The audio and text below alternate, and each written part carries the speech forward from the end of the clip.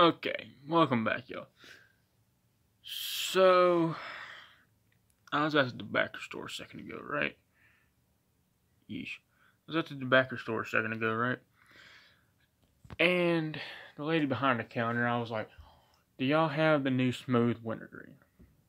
And they were like, No, we tried getting it twice, but we can't get it. I said, Okay, do you have the new Copenhagen Black? She goes, No, we don't got that yet either. And I was like, Alright, do you have any of the new stuff? Anything new? Even the new Grizzly can, right? Like, they got that because I've seen it there. I got it. I got it. America, right? America. America. But yeah, she was like, We got this new, blah, blah, blah. This is new. I was like, yeah, I've seen that. And I got a pinch of it in right now, but yeah, I got a pinch of it in right now, but I didn't take a big one because I didn't know how it was gonna taste. Because if if y'all see my channel, if y'all are like hardcore subs for my channel, you know everything about my channel, then you know I hate this brand. Like I don't I don't like it at all. But I didn't know how this was gonna taste, so. But I got the new Longhorn Wintergreen Chill. Jesus, about to fall. The new Longhorn Wintergreen Chill. Now, I put it in, and obviously, first off, it's obviously just by looking at the name of it, it's obviously wintergreen and mint mixed together, right? That's obviously what it is. But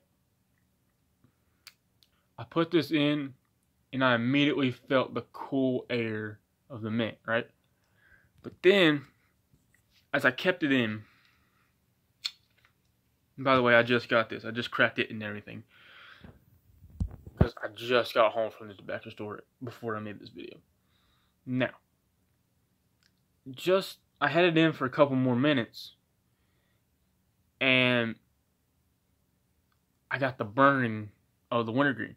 Like, y'all know I love wintergreen. That's my favorite flavor, right?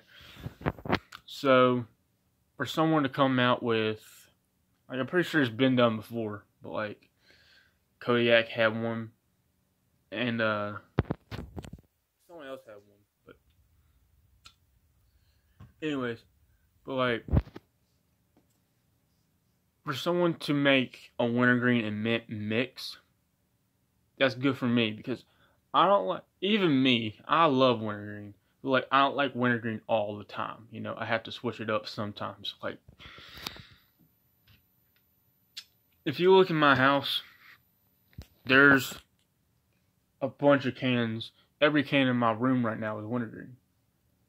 Or has something to do with wintergreen. But every once in a while I get like straight or mint or something to mix it up, right? So, for this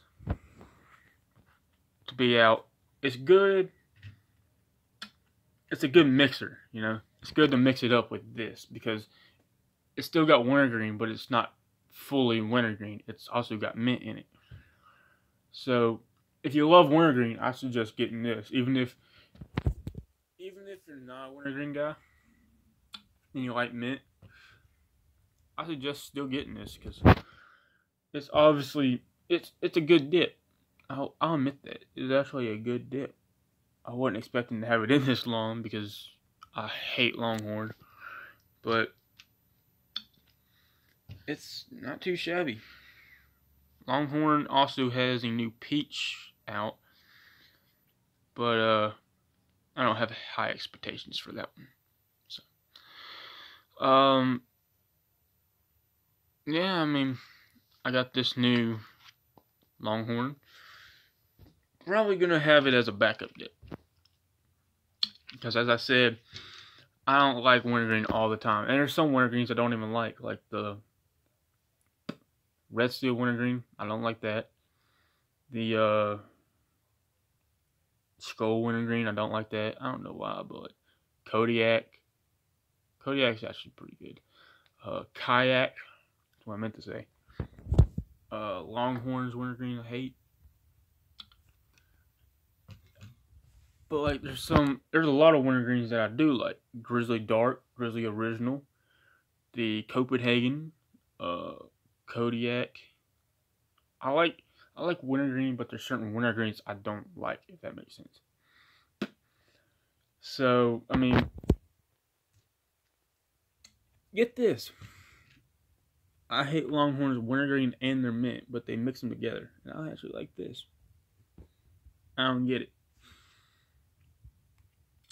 Was the formula done differently on this one or something? Because this is actually pretty damn good.